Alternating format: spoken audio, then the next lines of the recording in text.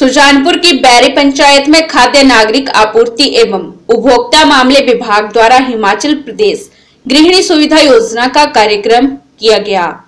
कार्यक्रम में 15 पंचायतों में लगभग 500 gas cylinder connection Himachal Pradesh गृहिणी सुविधा योजना के तहत आवंटन किए गए। कार्यक्रम में पूर्व मुख्यमंत्री प्रेम कुमार धूमल ने बतौर मुख्य अतिथि शिरकत की। धूमल ने संबोधन के दौरान स्वर्गीय लाल बहादुर शास्त्री का वह समय भी याद करवाया कि जब युद्ध के दौरान उन्होंने लोगों को हर हफ़्ते उपवास रखने का आह्वान किया, जिससे वीर सैनिकों के खाद्य आपूर्ति को पूरा किया जा सके और पूर्व प्रधानमंत्री के कहने पर देश के करोड़ों लोगों ने उपवास कर अपने वीर सैनिकों का मनोबल बढ़ाया। और उसी तरह हमारे वर्तमान प्रधानमंत्री नरेंद्र मोदी ने अपने देश की माताओं व बहनों को लकड़ी और कोयले के धुएँ में अपने जीवन को बिताते देख, पूरे देश में उज्ज्वला गृहिणी योजना देकर हर मातृ शक्ति को कई बीमारियों से मुक्त किया।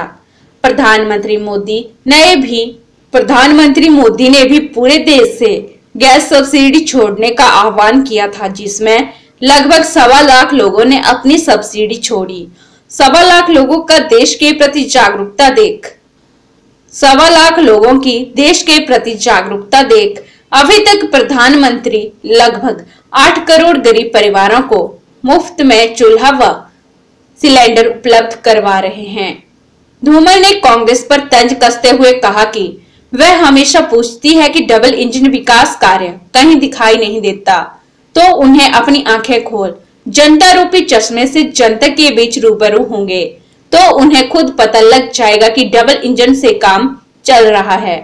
जहाँ केंद्र सरकार ने उज्ज्वला गृहिणी योजना चलाकर लगभग आठ करोड़ लोगों को उज्ज्वला गृहिणी योजना के तहत जोड़ा और जो महिला केंद्र सरकार की योजना में शामिल नहीं हो पाई, उन्हें हिमाचल प्रदेश की जयराम सरकार ने ढाई लाख कनेक्शन हिमाचल गृहिणी योजना के तहत देकर मातृशक्ति को लाभान्वित किया।